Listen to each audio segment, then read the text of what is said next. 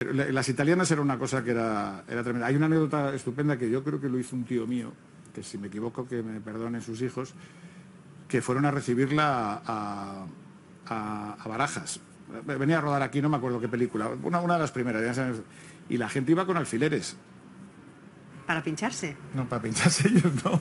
Para pincharle. Como se juntaban todos con- para pincharle a ver si eran de verdad lo que viene siendo los pechos. Las dominguillas. Eh, las domin- bueno, que no eran el caso, no eran illas. Eran, No eran illas, eran domingas. Eran domingas, sí. Eso es verdad. Pero bueno, pobre mujer. Eh, no, Hacerle date vudú. cuenta, el- los subnormales que éramos en este país, eh, sobre todo algunos más que otros, o sea, lo, lo cortos que éramos, que ese tipo de cosas pasaban.